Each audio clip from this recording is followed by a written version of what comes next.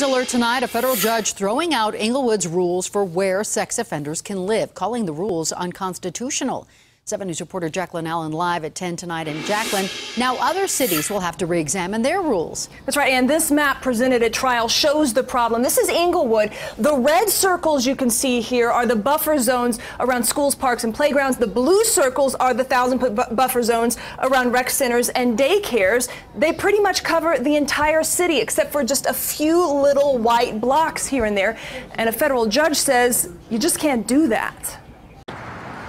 In the city of Englewood, we found this is one of the few blocks where sex offenders can legally live. It's scary. And Kim Steed, worried about her daughter's safety, thinks even that's too much. I'm not really sure where they should go, but I definitely don't want them to be here. That knee jerk reaction is the same Englewood City Council had in 2006 when it passed an ordinance drastically restricting sex offender residency.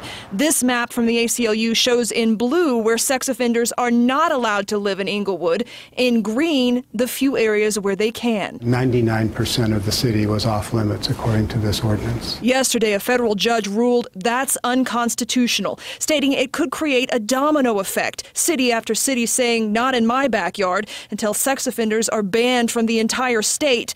A major concern sex offenders could go underground and not register at all, giving people a false sense of security. What we want to do is make sure our children are safe. Eh? Englewood's mayor says the council will meet with the city's legal department Monday, and they're not alone. We checked. Cities across the Front Range have similar ordinances, from Greeley to Greenwood Village, all scrambling to figure out what they need to do now. Ours is not to tell them where to live. Ours is to tell them where they can't live.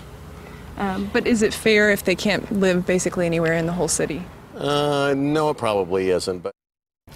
And this ruling came today after Brett Riles, a sex offender who bought a house here in Englewood, was actually told he could not live here anywhere and he was charged with a crime. I spoke to him today. He did not want to talk to us about this story and referred us to the ACLU. Reporting live, Jaclyn Allen, 7 News.